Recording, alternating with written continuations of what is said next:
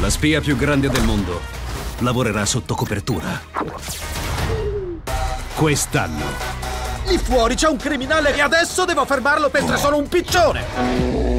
Ho perso le mie mani. Spie sotto copertura, al cinema.